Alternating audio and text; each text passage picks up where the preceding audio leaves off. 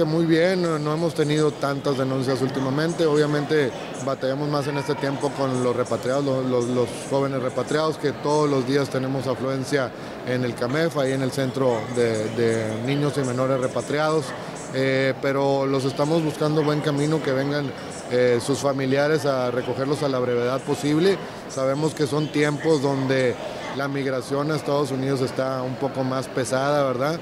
Y es donde les toca a ellos... Eh, la mala fortuna, le podría decir yo, que los, eh, los devuelvan.